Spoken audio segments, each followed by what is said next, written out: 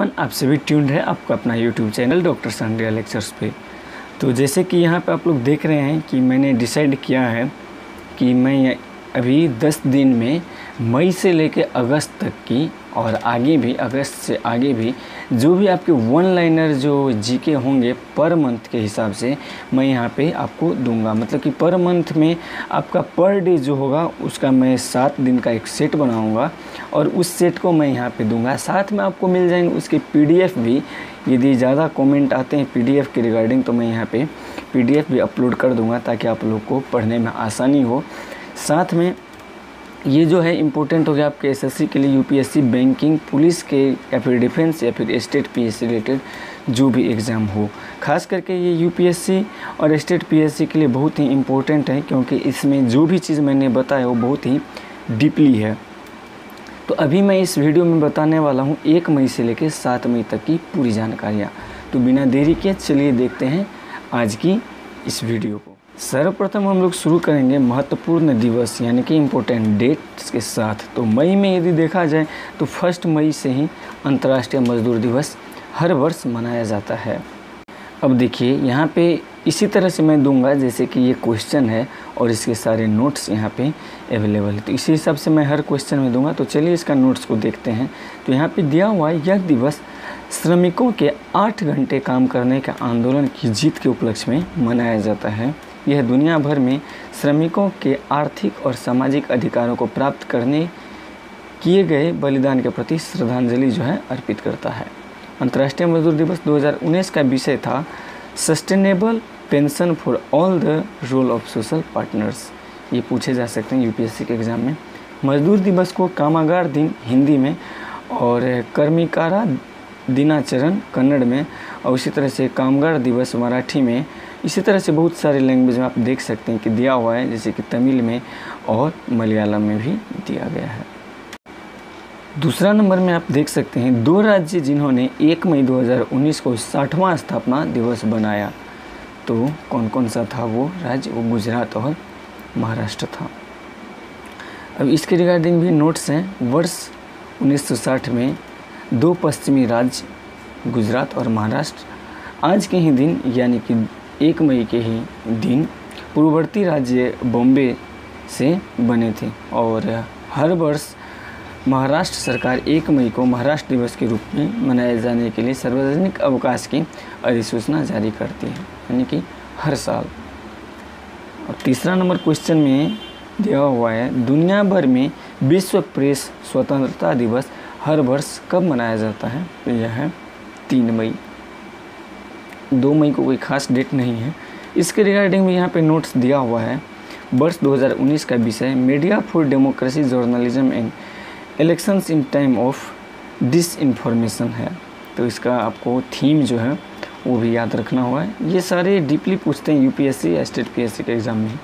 यह शांति और मैत्री प्रक्रियाओं के समर्थन में मीडिया की क्षमता के साथ चुनावों में मीडिया के सामने आने वाली वर्तमान चुनौतियों पर चर्चा करता है।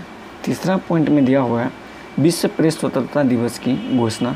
यूनेस्को की जनरल कॉन्फ्रेंस की सिफारिश के बाद दिसंबर उन्नीस सौ तिरानवे में संयुक्त राष्ट्र महासभा ने की थी।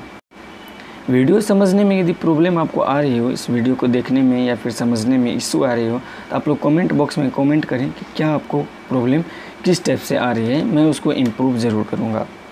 अब देखिए क्वेश्चन ये सारे क्वेश्चंस के टाइप है और उसके यहाँ पर डिस्क्रिप्शन दिया हुआ है। फोर में पूछा जा रहा है, विश्व हास्य दिवस, दुनिया भर में हर वर्ष मनाया जाता है। कब? तो यह मई के पहले रविवार को मनाया जाता है। अब इसके रिगार्डिंग भी दो पॉइंट्स हैं। यह हँसी और इसके कई आरोग्यकर लाभों के बारे में जागरूकता बढ़ाने का दिवस है। जैसे कि ओशो जो है, ओशो जिस तरह से बौद्ध धर्म है, उसी तरह से ओशो का भी होते हैं पब्लिक उसमें, यानी कि आम आदमी उसमें जुड़ते हैं। तो आप लोगों ने देखा होगा कि पार्क में वो लोग भी हँसते रहते हैं। उसी प्रकार से यह भी कुछ ऐसा है। यह दिवस पहली बार 10 मई उन्नीस को मुंबई में डॉक्टर मदन कटारिया यानी कि दुनिया भर में हास्य युग आंदोलन के संस्थापक माने जाते थे। उनके द्वारा मनाया गया था। विश्व आस्थमा दिवस हर वर्ष मनाया जाता है। कब? तो मई के पहले मंगलवार को। अब देखिए, यहाँ पे आस्थमा रिलेटेड कुछ पॉइंट्स भी दिए हुए हैं। आस्थमा फेफड़ों का एक जीर्ण रोग है। जिसके कारण सांस लेने में समस्या होती है। आमतौर पर अस्थमा में खांसी, सीने में जकड़न, सांस फूलना जैसे लक्षण दिखाई देते हैं। इस वर्ष विश्व आस्थमा दिवस का विषय विषय जो था, वह स्टॉप फॉर आस्थमा रहा है। उन्नीस सौ अंठानवे में वर्सोलिना, स्पेन में आयोजित पहली विश्व आस्थमा बैठक के संयोजन में 35 से अधिक देशों में पहला विश्व अस्थमा दिवस मनाया गया। कब? 1998 में। तो पाँच क्वेश्चंस आपके रिलेटेड थे। एक से सात मई वाला सेशन में वो था इम्पोर्टेंट डेट्स रिलेटेड और या फिर इम्पोर्टेंट इवेंट्स रिलेटेड अब बढ़ते हैं आगे। अब आगे देखते हैं बैंकिंग एवं वित्तीय जागरूकता रिलेटेड तो फ़र्स्ट नंबर में कर चोरों को पकड़ने और काले धन को कम करने के लिए डेटा आदान प्रदान में सुविधा हेतु माल एवं सेवा कर नेटवर्क यानी कि जिसे जीएसटीएन ने किसके साथ एक समझौता पर हस्ताक्षर किए। तो यह था आयकर विभाग। आप लोग याद रखेंगे कि कर रिलेटेड जो भी क्वेश्चन आता है, अक्सर वो आयकर विभाग ही देखती है। कर रिलेटेड जो भी काम होता है, आयकर विभाग ही देखती है। इसके रिगार्डिंग भी नोट्स हैं। इस कदम में आयकर विभाग ने वार्षिक जीएसटी जीएसटी का होता है goods and service tax return की तुलना में आयकर रिटर्न में व्यवसायों द्वारा दर्ज जानकारी जो भी था उसको सत्यापित करने की अनुमति मिल जाती है। अब दोनों पक्ष स्वचालित व सहज और अनुरोध आधारित डेटा के आदान प्रदान के साधन पर फैसला करेंगे। आयकर विभाग प्रमुख वित्तीय जानकारी साझा करेगी, जिसमें जीएसटीएन के साथ आयकर रिटर्न फाइलिंग की स्थिति, कारोबार में बिक्री, कुल सकल आय और कारोबार अनुपात भी शामिल है।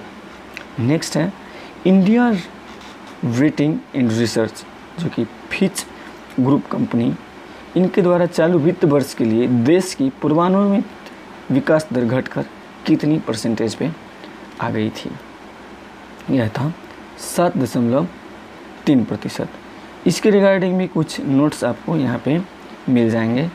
तो यहाँ पे देखिए एजेंसी इस agency Fitch group and company को एजेंसी ही मानिए तो इस एजेंसी ने अपने पूर्वानुमान को कम करने के तीन प्रमुख कारणों को सूचीबद्ध किया है। वर्ष 2019 के लिए सामान्य से कम मानसून और निरंतर कृषि संकट की भविष्यवाणी की थी। तो एस रिलेटेड एक और इम्पोर्टेंट पॉइंट मैं बता देना चाहूँगा कि जैसे कि आरबीआई के बहुत सारे गाइडलाइन के अनुकूल स्टेट बैंक को भी सात करोड़ रुपये का जुर्माना जो था फाइन जो था, लगाया गया था हाल ही में। और उसी सबको मद्देनज़र देखते हुए इसने बहुत सारे रूल किए, जिसके अगेंस्ट में कस्टमर को बहुत प्रॉब्लम हुई, जैसे कि के करना पड़ा उनको। बहुत सारे कस्टमर्स के अकाउंट जो है, वो होल्ड हो गया था। तो चलिए हम लोग और पॉइंट्स देखते हैं। यहाँ पे दिया हुआ है, मार्च में स्टेट बैंक ने घोषणा की थी कि वह बचत खाते में एक लाख रुपए से अधिक जमा राशि और ओवरड्राफ्ट एवं नगद ऋण सुविधा पर अपनी ब्याज दरों को भारतीय रिज़र्व बैंक की रेपो रेट से लिंक करेगी। यह एक मई 2019 से प्रभावी है। और बड़े एसबीआई बचत खातों में राशि पर ब्याज दर और कुछ अल्पकालिक ऋणों पर ब्याज दर, यानी कि आरबीआई द्वारा अपनी रेपो रेट बदलने पर स्वतः ही बदल जाएगी। मतलब कि आरबीआई से डायरेक्ट लिंकअप हो गया तो आरबीआई का रूल यहाँ पे अब चलेगी। इससे आरबीआई की नीतिगत दरों का, बैंकिंग दरों में बेहतर हस्तांतरण करने में मदद मिलेगी। यानी कि आगे जो भी रूल आरबीआई पारित करेगी, वो डायरेक्ट बैंकों में लागू हो जाएगा। नेक्स्ट क्वेश्चन देशों के युवाओं को सशक्त बनाने के लिए बेंगलुरु में एक कौशल केंद्र यानी कि उद्यम की शुरुआत किसने की?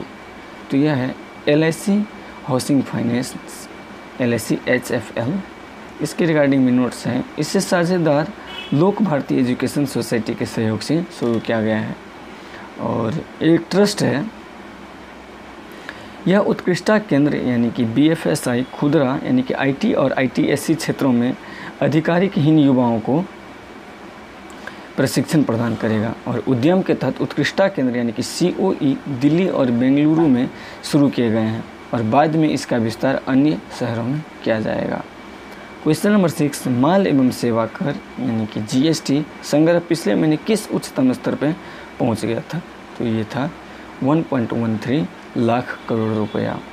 नेक्स्ट है आरबीआई ने विनियामक मानदंडों के उल्लंघन के लिए कितने प्रीपेड भुगतान साधन, यानी कि पीपीआई जारीकर्ताओं पर जुर्माना लगाया? तो पाँच था। आरबीआई ने विनियामक दिशा निर्देश का पालन करने पर Western Union finance services America और मनीग्राम पेमेंट सिस्टम अमेरिका पर क्रमशः, यानी कि उनतीस लाख छियासठ हज़ार नौ सौ उनसठ और दस लाख ग्यारह हज़ार छः सौ तिरपन रुपये का जुर्माना लगाया है यह दोनों सर्विस पर।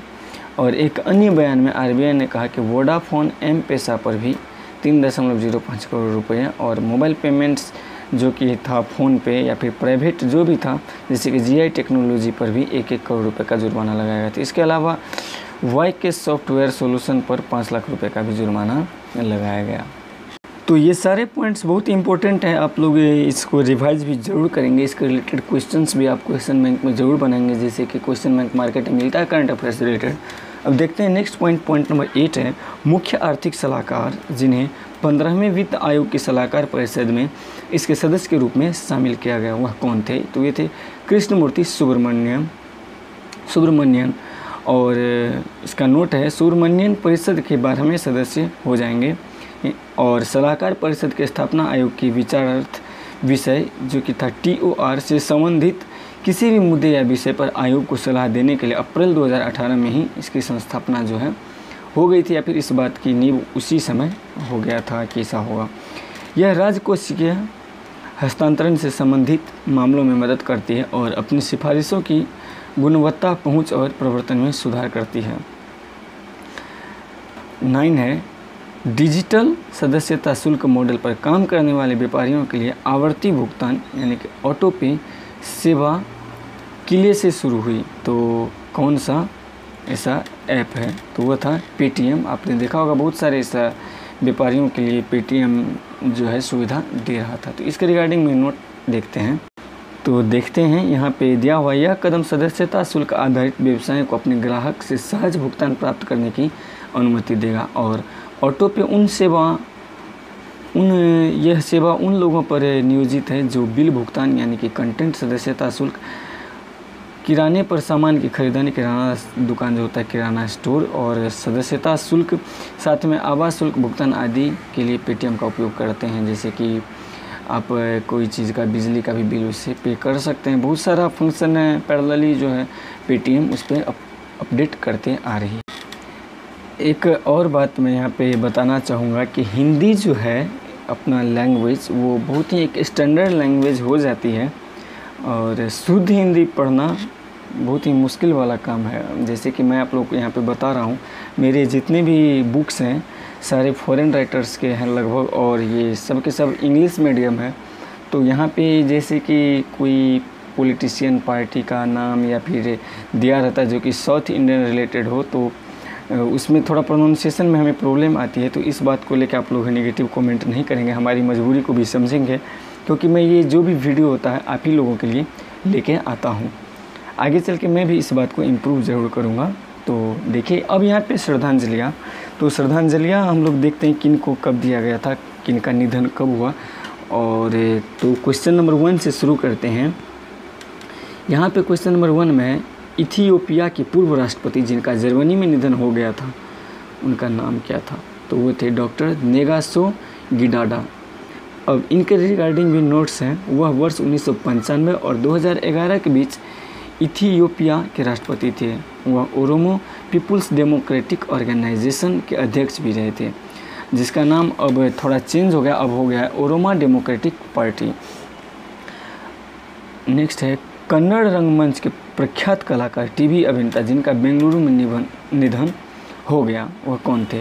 तो वह थे मास्टर हिरण्या मास्टर हिरण्या मैसूर में आए नरसिंह मूर्ति ने एक बच्चे के रूप में मंच पर अपने अभिनय की शुरुआत की थी। इनके बारे में दिया हुआ कुछ पॉइंट्स उन्होंने लांचा व तारा नाटक में मुख्य भूमिका निभाने का, के बाद जो है प्रसिद्धि हासिल की। मास्टर ने वर्ष उन्नीस सौ चौरासी में कन्नड़ राज्य पुरस्कार राज्योत्सव प्रशिस्त वर्ष उन्नीस सौ अठासी में गुब्बी वीरन्नम्मा पुरस्कार और ड्रामा अकादमी पुरस्कार, वर्ष 2009 में संदेशा आर्ट पुरस्कार और 17 में महा अद्वैती पुरस्कार इन्होंने प्राप्त किया। तो ये अवार्ड्स रिलेटेड पूछ सकते हैं आपके जनरल एग्ज़ाम में भी। लेकिन इतनी डिटेल जो पॉइंट नंबर वन और टू में है, ये यूपीएससी में ही पूछी जाती है। थ्री में है ब्रिटिश अमेरिकी अभिनेता जिनका उत्तरी टेक्सास स्थित आवास पर निधन हो गया। तो वह कौन थे? वह थे पीटर मेह्यू। पीटर मेह्यू को स्टार वर्स, यहाँ पे आप पॉइंट नंबर वन में पढ़ रहे हैं। पीटर मेह्यू को स्टार वार्स फ़िल्म श्रृंखला में, स्टार वार्स की जो आती है सीरीज़ उसमें चुबक्का के किरदार में जाना जाता है। उन्होंने अपनी भूमिका से संन्यास लेने से पहले 1977 की मूल फ़िल्म वर्ष 2015 की द फोर्स ओवकर्स तक अपनी सभी लाइव एक्शन प्रस्तुतियों में किरदार निभाया। और ये जो एक्टर थे, यह बहुत बड़े समाज सेवी भी थे। अब एक से सात तारीख की जो है डेट, उसी में हम लोग नई नियुक्तियाँ के भी बारे में देखेंगे।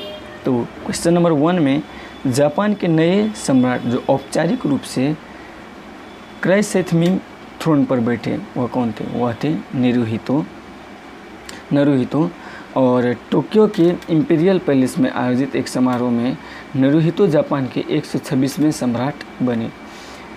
रेबड़ा नामक एक नया शाही युग जिसका अर्थ है आदेश और सामंजस्य, अब शुरू हो गया है और जापान में सम्राट के पास कोई राजनीतिक शक्ति नहीं होती है, लेकिन यह वह राष्ट्रीय प्रतीक के रूप में कार्य करता है। यह एक राष्ट्रीय प्रतीक के रूप में ही कार्य करता है, बाकी इसके पास कोई भी राजनीतिक शक्ति जो है, वह नहीं होती है। अच्छा पॉइंट है ये। इसको नोट आउट कर लें। इसराइल के नए प्रधानमंत्री के रूप में किसने शपथ ली? तो यह थे बेंजामिन नेतन्याहू। Benjamin Netanyahu. इसके रिगार्डिंग नोट्स हैं कि नेतन्याहू की लिकुड पार्टी लिकुड पार्टी ने चुनाव में पूर्व सैन्य प्रमुख बेनी गेजेट्स के नेतृत्व में उनके प्रमुख प्रतिद्वंदी ब्लू एंड व्हाइट गठबंधन में और उसके समान ही यह 35 सीट जीती थी। बेंजामिन यानी कि बीबी नेतन्याहू का जन्म उन्नीस सौ उनचास में तेल अवीब में हुआ था। क्वेश्चन नंबर थ्री वरिष्ठ आई अधिकारी जिन्हें लोकपाल कार्यकाल में विशेष कार्य अधिकारी ओएसडी नियुक्त किया गया, वह कौन थे? तो थे दिलीप कुमार। अब इसके रिगार्डिंग भी नोट्स हैं। यह संभवतः लोकपाल में किसी नौकरशाह की पहली आधिकारिक नियुक्ति है। पूछ सकता है यह क्वेश्चन वर्तमान में श्री कुमार राष्ट्रीय मानवाधिकार आयोग के संयुक्त सचिव भी है और राष्ट्रपति रामनाथ कोविंद ने न्यायमूर्ति पिनाकी चंद्र घोष की लोकपाल, जो कि तेईस मार्च को थी, के अध्यक्ष पद की शपथ दिलाई थी। राष्ट्रपति ही इस चीज़ का शपथ दिलाता है। नेक्स्ट है, राष्ट्रीय स्वच्छ वायु कार्यक्रम।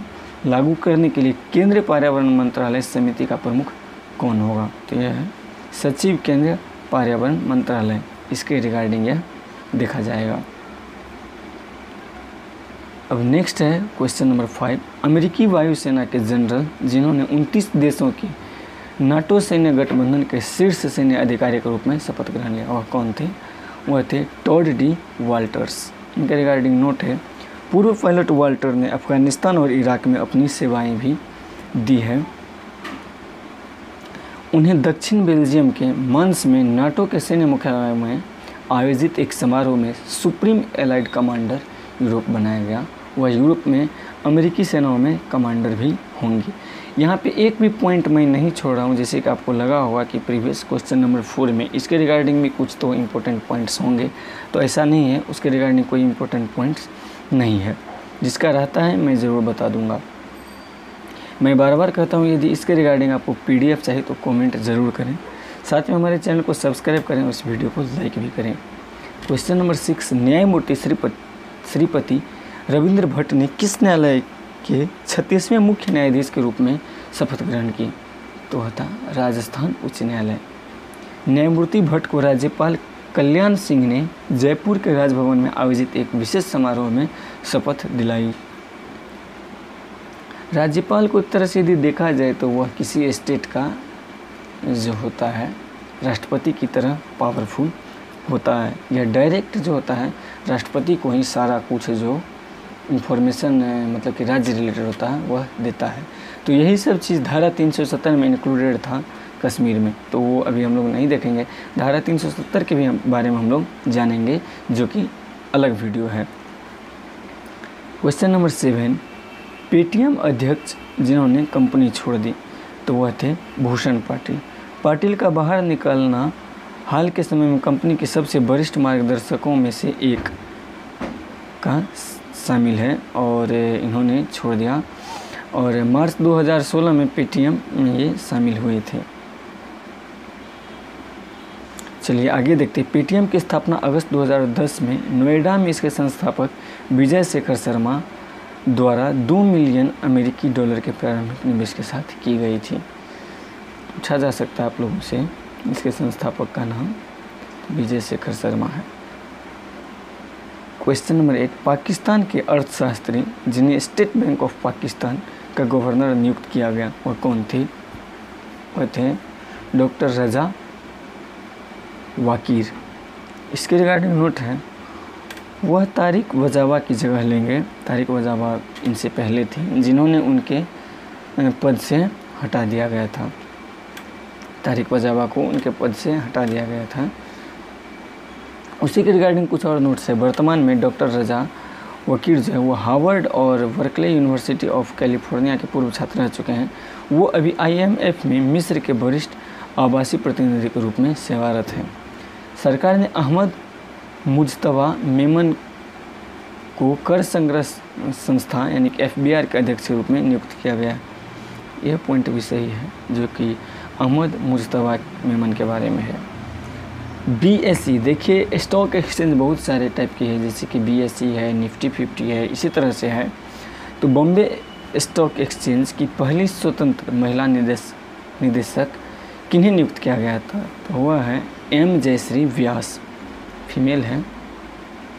इसके रिगार्डिंग पॉइंट्स है, वह एक योग्य चार्टर्ड अकाउंटेंट है। ये सब क्षेत्र में चार्टर्ड अकाउंटेंट से ही मतलब कि लिया जाता है एम्प्लॉय को। अब जयश्री व्यास वर्ष उन्नीस सौ छियासी से श्री महिला सेवा सहकारी बैंक और साथ में अहमदाबाद के प्रबंधक निदेशक के रूप में कार्यरत थी। उन्होंने वर्ष 2001 में सेवा बैंक में वित्तीय साक्षरता कार्यक्रम में शुभारंभ में एक महत्वपूर्ण भूमिका भी निभाई थी। तेरह में, वर्ष तेरह में कंपनी अधिनियम ने कुछ निश्चित श्रेणी की कंपनियों को बोर्ड में कम से कम एक महिला निदेशक नियुक्त करने का आदेश दिया गया था और सेबी ने कंपनी अधिनियम 2013 की स्वीकृति में अक्टूबर 2014 से बोर्ड में कम से कम एक महिला होना अनिवार्य कर दिया था। उसके बाद इनको लिया गया था, जिनका नाम है एम जयश्री व्यास। सारे क्वेश्चंस का आप लोग प्रैक्टिस भी करते रहेंगे। फ्री टाइम में घर पे जब भी हो तो इसके रिलेटेड आप लोग क्वेश्चन सेट का प्रैक्टिस बनाते रहेंगे। इसके रिगार्डिंग मैं क्वेश्चन भी अपलोड ज़रूर करूँगा। और उस क्वेश्चन को आपको सोल्व करना होगा, और उसके कुछ फिक्स टाइमिंग होंगे, और उसके बाद आपको नोट्स जो होगा, इसी से रहेंगे वो सारे क्वेश्चन और सबके आंसर भी वहाँ पे मिल जाएँगे आपको। अब कुछ इम्पोर्टेंट न्यूज़ जो है अपने इंडिया रिलेटेड भारत रिलेटेड वह देख लेते हैं। तो एक में केंद्र सरकार ने राज्य के परिवहन विभागों से सभी बैटरी चालित वाहनों यानी कि मौजूदा और नए दोनों में तत्काल प्रभाव से किस रंग की नंबर प्लेट लगाने को कहा है? हरे। तो आप लोग को याद रखें, हरे रंग जो होता है वह नेचुरल कलर होता है, यानी कि आपके नेचर में जो कलर होता है पेड़ पौधे के पत्ते की। वह होता है। इसीलिए ई रिक्शा जो है इको फ्रेंडली है। इसीलिए उसका नंबर प्लेट का कलर भी हरा है। तो इस हिसाब से आप लोग याद रखेंगे, अगस्त अठारह में सड़क परिवहन मंत्रालय सभी बैटरी चालित इलेक्ट्रिक वाहन के लिए नई नंबर प्लेट पेश की थी। पहले इसे नंबर प्लेट का ज़रूरत नहीं होता था। एक इलेक्ट्रिक कार वह ऑटोमोबाइल है जिसे रिचार्जेबल बैटरी में स्टोर ऊर्जा का उपयोग करके एक या एक से अधिक इलेक्ट्रिक मोटर्स द्वारा चलाया जाता है। तो इसमें जो भी काम होता है, जो भी फ़ंक्शन वो इलेक्ट्रिक मोटर से होता है। तो आगे का क्वेश्चन है, कोलकाता स्थित एक रक्षा शिपयार्ड ने भारतीय नौसेना के लिए आठ पनडुब्बी रोधी युद्धक सेलो वाटरक्राफ्ट बनाने के लिए रक्षा मंत्रालय के साथ छः हज़ार तीन सौ ग्यारह करोड़ रुपए का अनुबंध पर हस्ताक्षर किया। तो उस रक्षा शिपयार्ड का नाम आपको बताना है। तो वह था garden reach shipbuilders and engineers इसके रिगार्डिंग में नोट्स है। पहला जहाज़ अनुबंधन से 42 महीनों के अंतर्गत, यानी कि 2022 तक प्रदान किया जाएगा। और A S W S W C एक एल्गोरिदम जो दुश्मन की पनडुब्बी से मिलने वाले संकेत को समुद्र तल में चलने वाली पनडुब्बी से अलग करता है। यह सहित परिकृष्टिक सोनार से लेस है। यह एक एल्गोरिदम है जो कि डेविएट कर देगी दुश्मन का जो आएगा पनडुब्बी उसके सोनार को। नेक्स्ट पॉइंट है, इन जहाज़ों में पनडुब्बी के साथ संपर्क बनाए रखने के लिए कम समय में विस्फोट हेतु तेज़ चलने की क्षमता भी होगी, यानी कि टर्बो इंजन लगाया जाएगा। इसके बाद जी को अप्रैल 2026 तक डिलीवरी पूरा करते हुए प्रति वर्ष दो और A S S W C वितरित करने का जो है वादा किया गया है। इसी मतलब कि सीपीआर की ओर से। बढ़ते हैं next next question number three Stockholm international peace research institute S I की एक नवीनतम रिपोर्ट के अनुसार वर्ष 2018 में दुनिया का सर्वाधिक सैन्य खर्चा करने वाला चौथा बड़ा देश कौन था? तो वह था भारत। वैश्विक सैन्य खर्च दुनिया की जीडीपी का 2.1 परसेंट है और वहीं पर रक्षा के हिस्सा में देखा जाए तो तीन दशमलव सात प्रतिशत है और Stockholm international peace research institute Sweden में स्थित एक अंतर्राष्ट्रीय संस्थान है जो संघर्ष आयुध हथियार नियंत्रण और निशस्त्रीकरण में अनुसंधान के लिए समर्पित है सब देशों के लिए। नेक्स्ट है, उपराष्ट्रपति एम वेंकैया नायडू ने किसकी 750वीं जयंती के उपलक्ष्य में एक डाक टिकट जारी किया। तो वो थे श्री वेदांत देसिकन। नायडू के अनुसार पाठ्य पुस्तकों को श्री वेदांत देशिकन जैसे महान संत और आध्यात्मिक प्रतिरूपों के जीवन पर प्रकाश डालना चाहिए। और वेदांत देशिकन एक श्री वैष्णव गुरु या दार्शनिक और रामानुज के बाद के काल में वैष्णववाद के सबसे निष्ठावान समर्थकों में से एक थे। ये संत जो थे, उनका नाम था क्या? श्री वेदांत देशिकन वह एक कवि भक्त, दार्शनिक और प्रधान शिक्षक भी थे। पुलवामा में भारत फाइबर की शुरुआत के साथ ऑप्टिकल फाइबर आधारित हाई स्पीड ब्रॉडबैंड सेवा शुरू करने वाला पहला ऑपरेटर कौन था? तो वह था बीएसएनएल। तो ऑप्टिकल फाइबर जो होता है, मेडिकल के क्षेत्र में बहुत सारे क्षेत्र में यूज़ किए जाते हैं, जैसे कि इंडोस्कोप, लैरिंगोस्कोप में इसका यूज़ किया जाता है। इस विशिष्ट राजस्व हिस्सेदारी मॉडल के तहत यह कश्मीर घाटी में शुरू होने वाली पहली एफटीटीएच यानी कि फाइबर टू द होम सेवा है। बी एस एन एक अधिक दूर संचार जिलों में 777 से लेकर सोलह हज़ार नौ सौ निन्यानवे रुपये के मासिक शुल्क के साथ एफटीटीएच सेवा प्रदान करता है, जिनकी न्यूनतम गति दो मेगावाट प्रति सेकंड है। नेक्स्ट है, भारतीय नौसेना के प्रोजेक्ट 75 की चौथी स्टील्थ स्कॉर्पियन श्रेणी का पनडुब्बी जो था, जिसका नाम वेला था, वह कहाँ लॉन्च की गई? तो हम मुंबई, महाराष्ट्र में। पनडुब्बियों का निर्माण माझगांव डक लिमिटेड में किया जा रहा है, जिसमें मुख्य सहयोगी मेसर्स नेवल ग्रुप फ्रांस है। फ्रांस का है वह मेसर्स ग्रुप पनडुब्बी वेला नामक एक पूर्व की पनडुब्बी के नाम पर दिया गया जो तत्कालीन वेला श्रेणी की प्रमुख पनडुब्बी थी, जो पूर्व यूएसएसआर से हासिल की गई फॉक्स स्ट्रट श्रेणी की पनडुब्बियों का दूसरा बैच था। इंडियन नेवल सिस्टम यानी कि आईएनएस वेला को पहली बार 31 अगस्त उन्नीस सौ तिहत्तर को भारतीय नौसेना सेवा में शामिल किया गया और यह सैंतीस वर्षों तक सेवा में रहा था। नेक्स्ट है क्वेश्चन नंबर सेवन भारत सरकार ने महात्मा गांधी की 150वीं जयंती के उपलक्ष्य में अपशिष्टों संपन्नता, यानी कि वेस्ट वेल्थ प्रौद्योगिकी हेतु उत्कृष्टता केंद्र संस्थापित करने के लिए किस आईआईटी के साथ एक समझौता ज्ञापन पर हस्ताक्षर किए गए? तो वह थे आईआईटी दिल्ली। इसके रिगार्डिंग में कुछ नोट्स हैं। यह साझेदारी हितधारकों को अपशिष्ट प्रभावी, यानी रिसाइकलिंग या पुनः उपयोग संसाधित प्रतिलाभ के लिए समेकित दृष्टिकोण के उपयोग हेतु प्रभावी मंच प्रदान करेगी।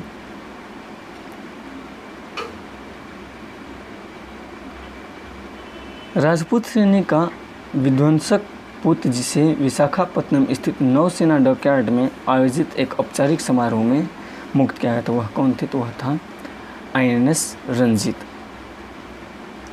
समारोह में कमीशन क्रू के 16 अधिकारियों और 100 नाविकों और 23 भूतपूर्व कमांडिंग ऑफिसरों ने भाग लिया था। 15 सितंबर उन्नीस को पूर्व यूएसएसआर में कैप्टन विष्णु भगत द्वारा, देखिए ये जितने भी सारे एब्रीवेशन है, इसको आप लोग एक पेज में लिखते जाएँगे। द्वारा शामिल जहाज़ में छत्तीसवें वर्ष तक राष्ट्र के लिए उत्कृष्ट सेवा प्रदान की थी।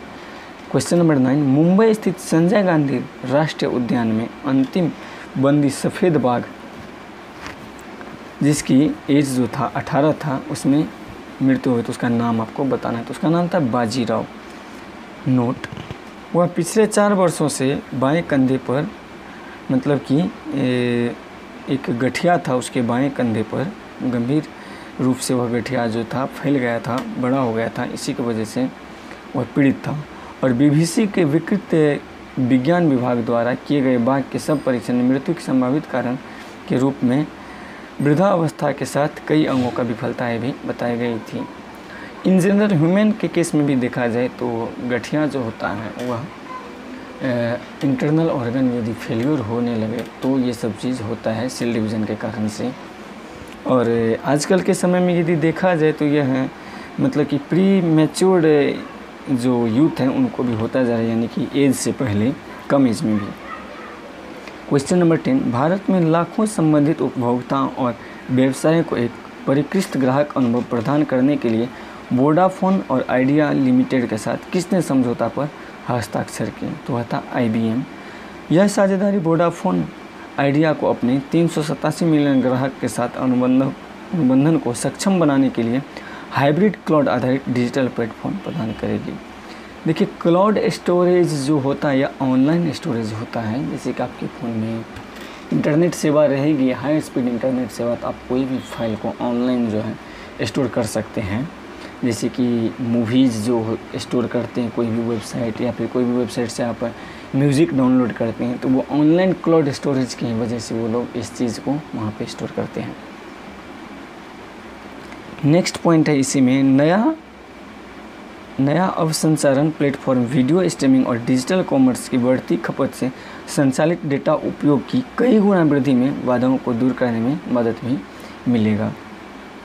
अब इस सेवन डेज़ के अंतर्गत हुए पूरे वर्ल्ड की मोस्ट इम्पोर्टेंट इवेंट्स को भी हम लोग ध्यान दे देते हैं।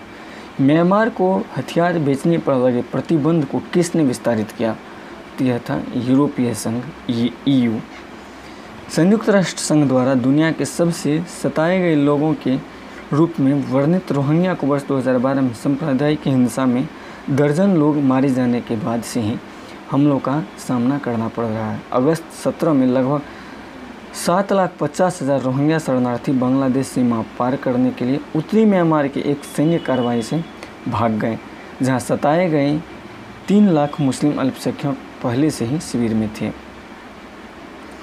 क्वेश्चन नंबर टू, वर्ष 2017 से 18 के दौरान भारत में तीसरा सबसे बड़ा विदेशी प्रत्यक्ष निवेशक राष्ट्र कौन सा है?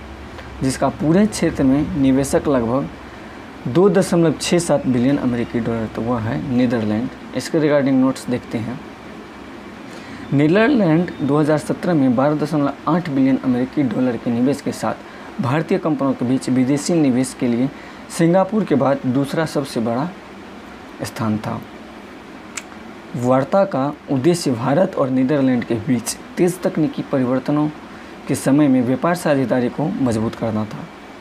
नेक्स्ट क्वेश्चन, भारत फ्रांस संयुक्त नौसैनिक अभ्यास का पहला भाग जो गोवा तट पर शुरू हुआ, वह कौन सा था?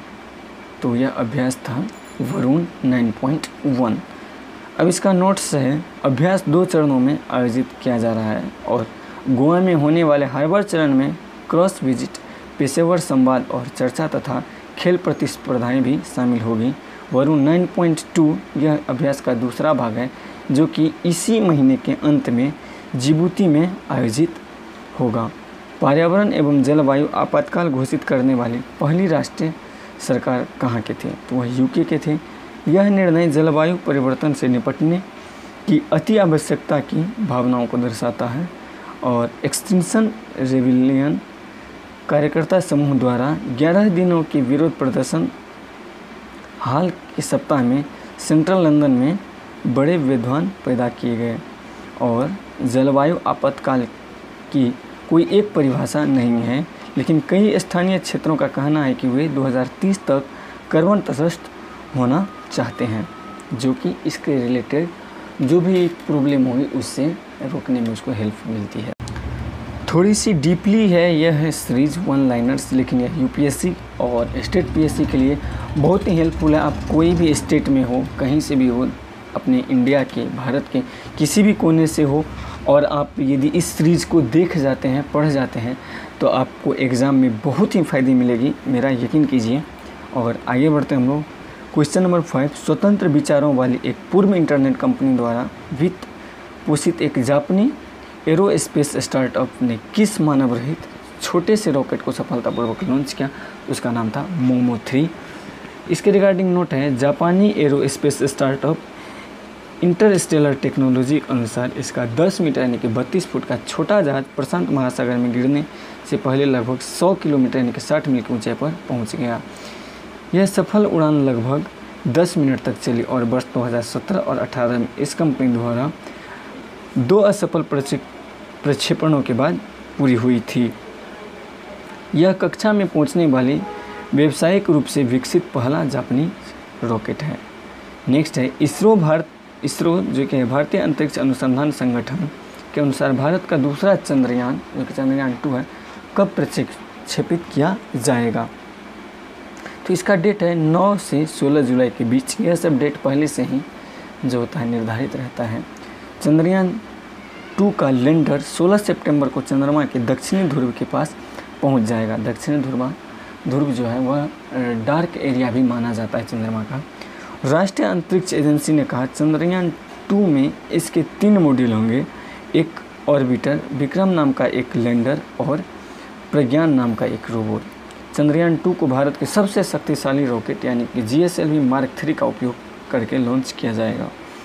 Jan Seva Kendra C S E e governance services India limited ने किस अभियान को, अभियान का नाम पूछा जा रहा है, को संपन्न बनाने के लिए भारतीय प्रौद्योगिकी संस्थान यानी कि आईटी कानपुर के साथ समझौता किया तो था उन्नत भारत अभियान। उन्नत भारत अभियान के रिगार्डिंग कुछ नोट्स यहाँ पे उन्नत भारत अभियान के तहत आईआईटी कानपुर ने उत्तर प्रदेश के पंद्रह उच्च शिक्षण संस्थानों को एक साथ लाया है। यह संस्थान ग्राम पंचायतों को गोद लेंगे और उन्हें सीएससी के माध्यम से सभी नागरिक केंद्र सेवाएँ प्रदान करेगी। उन्नत भारत अभियान ग्रामीण भारत में सतत विकास तेज़ी लाने हेतु तो समाधान खोजने के लिए मानव संसाधन विकास मंत्रालय की एक पहल है। ऐसे में होता क्या है कि बड़े बड़े इंजीनियरिंग कॉलेज या फिर मैनेजमेंट के कॉलेज बहुत सारे विलेज को अपने अंडर टेक ओवर करते हैं और उस कॉलेज से जो अटैच होता है, बहुत सारे अदर कॉलेज भी अटैच होता है। और इससे रिलेटेड होता है क्या कि वो लोग सारे इन्फॉर्मेशन गवर्नमेंट को भेजते हैं सेंट्रल गवर्नमेंट को। और इससे विलेज को बहुत सारी बेनिफिट्स मिलती हैं, बहुत सारी सुविधाओं का लाभ मिलता है। अब हम लोग देखते हैं सम्मान एवं पुरस्कार मई में ही, वो भी एक से सात तारीख तक जो हुई है। तो क्वेश्चन नंबर वन में है, विश्व बंगला कन्वेंशन सेंटर में सत्ताईसवें लाइफ टाइम पीसी चंद्र पुरस्कार 2019 से किन्हें सम्मानित किया गया? तो वह थी डॉक्टर देवी प्रसाद सेट्टी डॉक्टर सेट्टी भारत के सबसे प्रतिष्ठित हृदय संबंधी सर्जन और मानवता वादी भी थे। मठ स्थित रामकृष्ण मठ और रामकृष्ण मिशन के महासचिव स्वामी सुवीरानंद जी महाराज इस अवसर पर मुख्य अतिथि के रूप में शामिल हुए और पुरस्कार प्रदान किए। यह पुरस्कार पीसी चंद्र समूह के संस्थापक स्वर्गीय श्री पूर्ण चंद्र को श्रद्धांजलि है। क्वेश्चन नंबर टू फ्रांस के सर्वोच्च नागरिक सम्मान से सम्मानित इसरो के पूर्व अध्यक्ष का नाम आपको बताना है। तो यह है A S Kiran Kumar. Kiran Kumar Bharat France अंतरिक्ष सहयोग में उनके योगदान के लिए सम्मानित हुए थे और कुमार वर्ष 2015 से 18 तक भारतीय अंतरिक्ष अनुसंधान यानी इसरो के अध्यक्ष भी थे और वर्तमान में वो पृथ्वी अवलोकन उपग्रहों पर इससे सम्मानित अध्यक्ष हैं और इस समिति के अध्यक्ष हैं। मेरी लेबोन क्रिकेट क्लब एमसीसी की पहली गैर ब्रिटिश अध्यक्ष के रूप में नियुक्त श्रीलंका के पूर्व बल्लेबाज का नाम आपको बताता, बताना है। तो वह थे कुमार संगकारा और उनके रिगार्डिंग नोट है, वह एक अक्टूबर 19 को अपने एक वर्ष कार्यकाल का पद संभालेंगे। एमसीसी की स्थापना वर्ष सत्तर में ही हुई थी और यह लॉर्ड्स में स्थित है, जिसे वर्ष 1814 से इसका स्वामित्व प्राप्त है। यह खेल के नियमक, नियम जो होता है, उसका संरक्षक है। और नेक्स्ट क्वेश्चन है, तीन दिवसीय राज्य अभिषेक समारोह के मुख्य आकर्षक, उनके सिंहासन पर बैठने के दो वर्ष बाद सोने की परतों वाला मुकुट पहनने वाला थाईलैंड के राजा कौन थे तो? इसके रिगार्डिंग में कुछ इंपॉर्टेंट नोट्स है। यहाँ पे दिया हुआ है कि वंदना नेपाल ने भारत की कलाम दलम हेमलथा द्वारा बनाए गए रिकॉर्ड को तोड़ दिया। और जिन्होंने लगातार 123 घंटे 15 मिनट, यानी कि 2011 में परफॉर्मेंस किया था। और नेपाल के प्रधानमंत्री के पी शर्मा ओली ने युवती वंदना नेपाल को यह उपलब्धि हासिल करने के लिए सम्मानित किया गया था। यहाँ पे सबसे बड़ी बात आपको देखने को ये मिल जाएगा आपको प्लेस का नाम पूछ सकता है। और उस कार्यकाल में जो थे उस वहाँ के प्रधानमंत्री, उसका नाम पूछा जा सकता है और टाइमिंग भी आपसे यहाँ पे पूछा जा सकता है। तो टाइम के साथ साथ आप, उस फीमेल युवती जो है, नेपाली युवती, उसका भी नाम आप लोग याद रखें। काठमांडू जो है, नेपाल का राजधानी है और एक बहुत अच्छा सा शहर है। नेक्स्ट है क्वेश्चन नंबर सिक्स अमेरिकी राष्ट्रपति डोनाल्ड ट्रंप ने प्रेसिडेंशियल मेडल ऑफ़ फ्रीडम किसे प्रदान किया? तो उनका नाम था टाइगर वुड्स इसके रिगार्डिंग नोट्स है। वुड्स ऐसे चौथे और सबसे युवा गोल्फ खिलाड़ी हैं, जिन्हें सर्वोच्च अमेरिकी नागरिक पुरस्कार प्रदान किया गया है। वुड्स ने पिछले महीने मास्टर्स टूर्नामेंट जीता, जो कि 2008 के अमेरिकी ओपन के बाद उनका पहला बड़ा खिताब था, जिसमें उन्होंने व्यक्तिगत समस्याओं पर शारीरिक चोटों से उभरते हुए शानदार वापसी की थी। Question number seven lieutenant general यानी कि सेवानिवृत्त हो चुके हैं Jake Farj Rafael J F R Jacob को एमुनिशन हिल स्थित वॉल ऑफ़ ऑनर पर पट्टिका से किसने सम्मानित किया? तो वह कंट्री का नाम था इसराइल इसके रिगार्डिंग भी नोट्स है। Lieutenant general J F R Jacob ने 1971 में बांग्लादेश स्वतंत्रता संग्राम के बाद ढाका में पाकिस्तानी सैनिकों के ऐतिहासिक आत्मसमर्पण पर वार्ता भी की थी। एमुनिशन हिल स्थित वॉल ऑफ़ ऑनर उन यहूदी सैनिकों की वीरता और साहस को श्रद्धांजलि अर्पित करती है, जो अपने देश की रक्षा में बहादुरी, वफादारी, प्रतिबद्धता के मूल्यों को कार्यान्वयन और एक मिशन के प्रति समर्पण, नेतृत्व, रचनात्मक सौहार्द और जीवन की सूचिता हेतु लड़े थे। अब है स्पोर्ट्स रिलेटेड कुछ इवेंट्स तो क्वेश्चन नंबर वन में है, दिल्ली गोल्फ क्लब में आयोजित वार्षिक भारत गोल्फ उद्योग संघ, यानी कि GIA पुरस्कार के चौथे संस्करण में outstanding achievement as a player, as a player पुरस्कार जीतने वाला भारतीय गोल्फर का नाम क्या था? तो वह थे Gaganjeet Bhullar.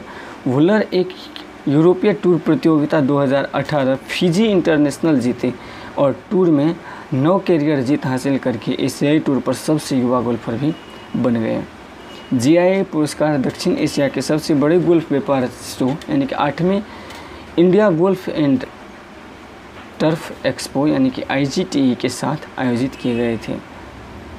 Question number two, Manchester City के स्टार खिलाड़ी, जिन्हें 2019 फुटबॉलर ऑफ़ द ईयर चुना गया, उनका नाम क्या था? तो उनका नाम था रहीम स्टर्लिंग। विजेता का चयन फुटबॉल राइट, राइटर्स एसोसिएशन के सदस्यों के बीच एक वोट द्वारा किया जाता है, जिसमें इंग्लैंड के लगभग 400 फुटबॉल पत्रकार शामिल होते हैं। उस, उसी का नेक्स्ट पॉइंट है पेरिस मैनचेस्टर सिटी यानी कि इंग्लैंड फॉरवर्ड ने 11 वोट हासिल करके विवियन मईडेमा और जो कि था अर्सेनल और नीदरलैंड स्ट्राइकर टीम का नाम, कि केवल एक वोट से हराकर महिलाओं का पुरस्कार जीता। नेक्स्ट पॉइंट है ऑस्ट्रियाई टेनिस खिलाड़ी जिन्होंने वर्सोलिना ओपन 2019 जीता, उसका नाम था डेमोनिक थीम। वह पिछले पंद्रह वर्षों में वर्सोलिना में खिताब जीतने वाले चौथे खिलाड़ी यानी राफेल नडाल, कई निशिकोर और फर्नांडो वाड्रास्को के बाद बने। वर्सोलिना ओपन 2019 स्पेन के कैटोनिया स्थित वर्सोलिना में Real Club de Tenis Barcelona में आयोजित हुआ। नेक्स्ट क्वेश्चन है, क्वेश्चन नंबर फोर। हेम्पशायर में शामिल होने वाले भारत के पहले खिलाड़ी कौन थे? तो वह थे अजिंक्य रहाणे। नोट रहाणे दक्षिण अफ्रीका के बल्लेबाज एडन मार्कम की जगह लेंगे।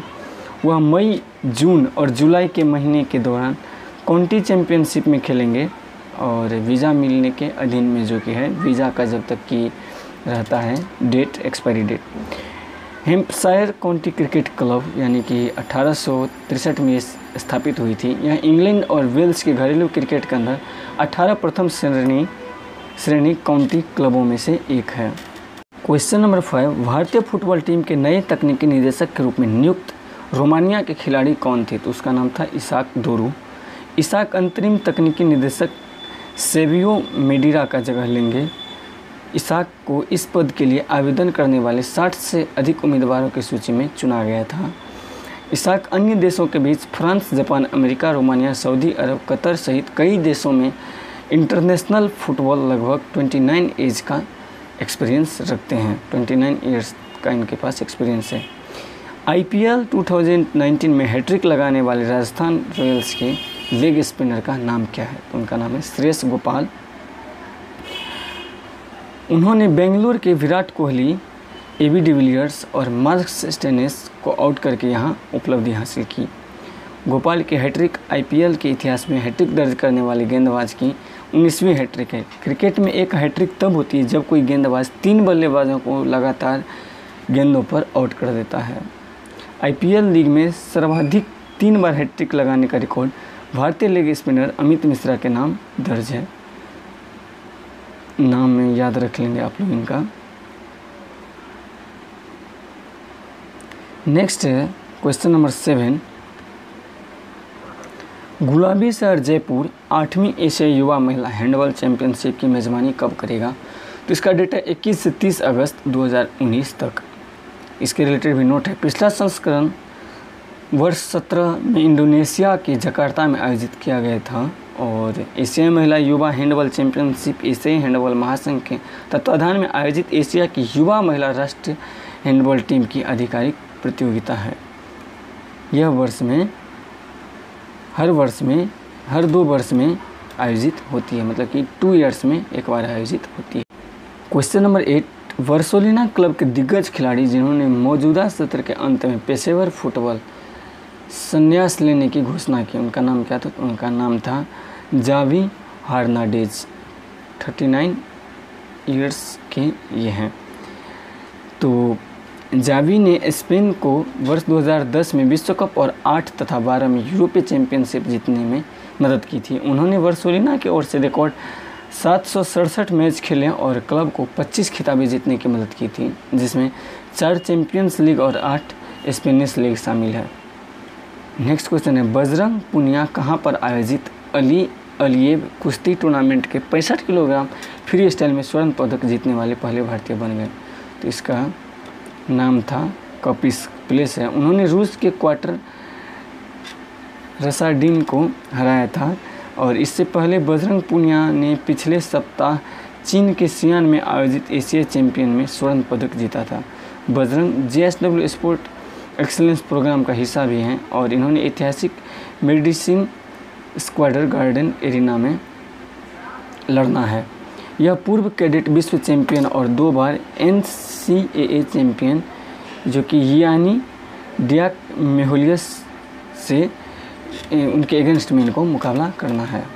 क्वेश्चन नंबर टेन मलेशिया के कोलालमपुर में अपने एशियाई स्क्वैश चेयरमैनशिप के खिताब जीतने वाले शीर्ष भारतीय स्क्वैश खिलाड़ी कौन थे? तो वह थे सौरभ घोषाल और जुसाना चिन्नप्पा। दो प्लेयर का नाम है। ऑब्वियसली पूछा जा सकता है ये सब क्वेश्चन आपके एग्ज़ाम में। इसके रिलेटेड भी तीन पॉइंट्स हैं। सौरभ घोषाल ने लियो और चुनमिंग, जो कि हांगकॉन्ग के थे, उनको ग्यारह नौ, ग्यारह दो, ग्यारह आठ से हराकर पुरुष एकल खिताब जीता था। जोसना चिन्नप्पा ने महिलाओं की फाइनल स्पर्धा में शीर्ष वरीयता प्राप्त एनी और हांगकॉन्ग को ग्यारह पाँच छः ग्यारह ग्यारह आठ ग्यारह छः से हराकर अपना खिताब बरकरार रखा। घोषाल जो विश्व रैंकिंग के शीर्ष दस में पहुँचने वाले पहले भारतीय पुरुष खिलाड़ी बने थे, पिछले संस्करण संस्करण के अंतिम दौर में पहुँचने वाले खिलाड़ी हैं। नेक्स्ट क्वेश्चन और लास्ट क्वेश्चन है क्वेश्चन नंबर इलेवन दो वर्षों में होने वाली विश्व टीम चैंपियनशिप 2024 संस्करण यानी कि बत्तीस टीमें भाग लेनी जिसमें उसके लिए दावेदारी पेश करने का फैसला किसने लिया? तो है भारतीय टेबल टेनिस महासंघ। इसके रिगार्डिंग नोट है, भारत में पिछली बड़ी भारतीय टेबल टेनिस महासंघ प्रतियोगिता वर्ष 12 में हुई थी, जब हैदराबाद ने जूनियर चैंपियनशिप की मेज़बानी की थी। इस महासंघ के सचिव एम पी सिंह के अनुसार इस महासंघ ने खेल मंत्रालय को अर्जुन पुरस्कार के लिए तीन नामों की सिफारिश की है और यह नाम हरमित देसाई, सनील सेट्टी और मधुरिका पाटकर है। तो आशा करता हूँ कि आप सभी को वीडियो अच्छा लगा हो। यह सीरीज़ आपको कैसा लगा आप लोग कमेंट करके ज़रूर कमेंट बॉक्स में बताएँ। यदि आप लोग को अच्छा लगा होगा तो मैं और वीडियो बनाऊँगा। यदि आप लोग अलग टाइप के टॉपिक चाहते हैं तो वह कमेंट करें, मैं उसके भी रिलेटेड बताऊँगा। लेकिन आप लोग को करंट अफेयर्स ही आगे चल के जी बन जाते हैं। यही आपको अभी से यदि ध्यान रखेंगे आप लोग रिवाइज करेंगे, इसके रिगार्डिंग यदि क्वेश्चन सिर्फ़ दो बार, ज़्यादा नहीं, सिर्फ़ एक से दो बार बना लेते हैं तो सारे क्वेश्चंस आपके दिमाग में परमानेंट रूप से परमानेंट मेमोरी में चले जाएँगे। तो आपको यह सीरीज़ कैसा लगा, आप लोग कमेंट बॉक्स में ज़रूर कमेंट करेंगे। आपसे मिलेंगे अगले वीडियो में, जो कि होगी इससे आगे की। तब तक के लिए जय हिंद, जय भारत। आशा करता हूँ कि आप सभी को हमारा वीडियो पसंद आया हो। हमारी इस वीडियो को लाइक करें और साथ ही हमारे इस चैनल को सब्सक्राइब करें और लेटेस्ट अपडेट पाने के लिए प्रेस करें बेल आइकन को ताकि नोटिफिकेशन आपके फ़ोन